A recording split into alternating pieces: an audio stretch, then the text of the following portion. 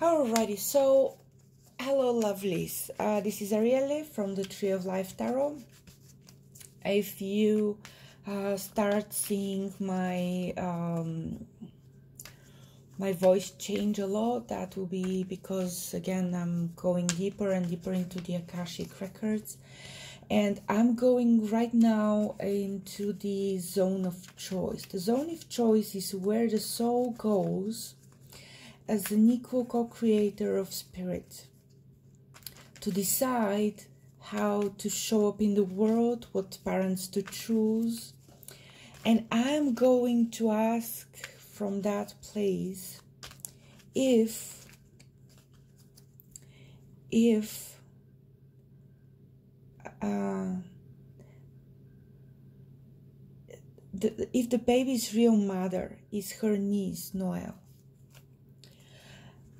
and I'll ask you about because uh, I'm asking you because uh,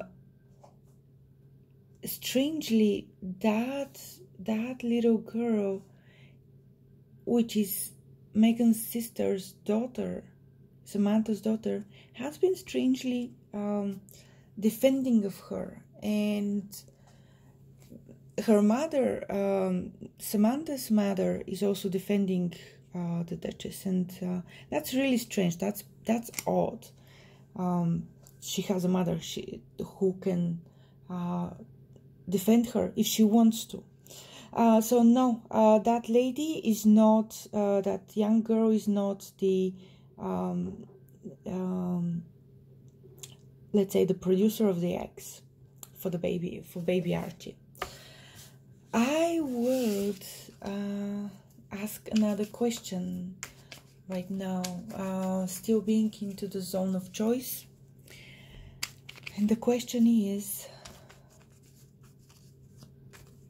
the question is would Harry's second wife, the so called future Duchess, is baby Archie from the soul family, from the same soul family as um, Harry's uh, future Duchess.